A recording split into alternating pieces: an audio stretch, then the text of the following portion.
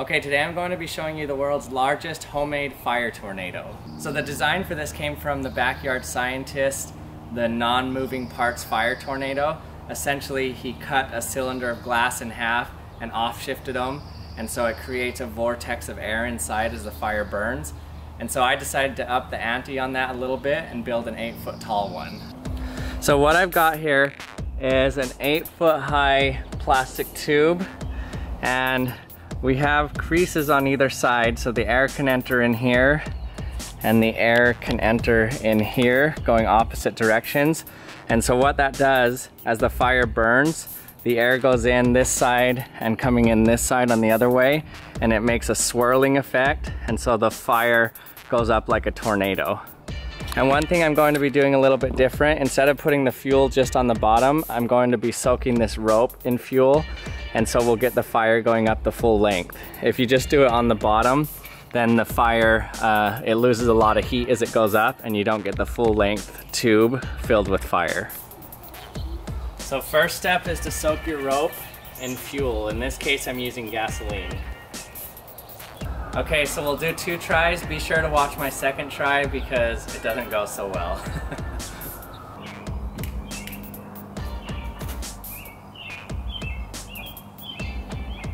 Whoa.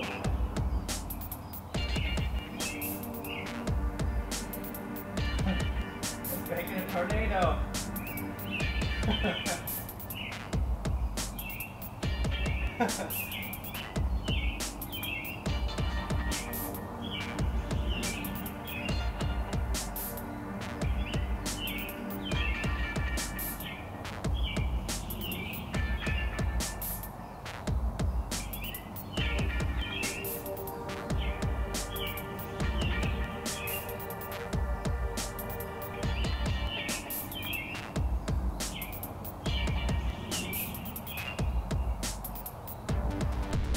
So look how the smoke makes a tornado in there. It's really cool.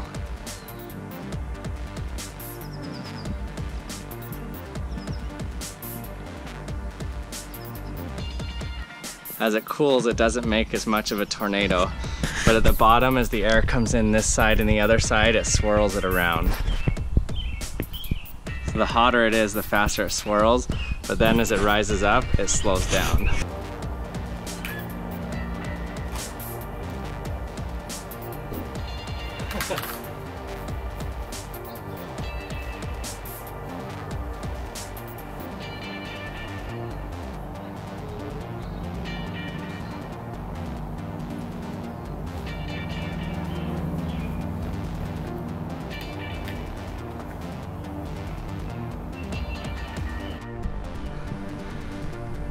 So there it goes. Uh-oh, our top's burning.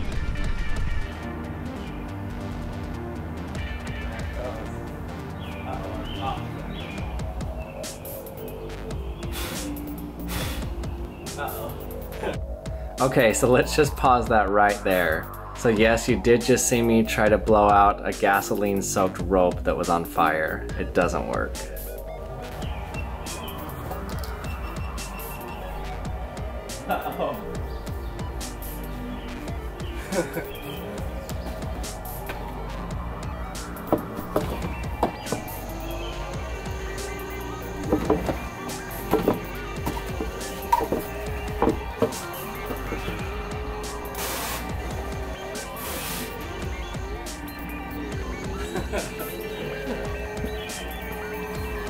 Okay, so that didn't go so well. This is one of the reasons you don't use plastic. It was fire retardant plastic, but not melt proof. hey, thanks for watching another episode of the Action Lab. If you're not subscribed yet, remember to hit that subscribe button and hit that bell to be notified when a new video comes out. And if you have any questions or comments, leave them in the comments section or any suggestions you want to see me do next time. And we'll see you next time.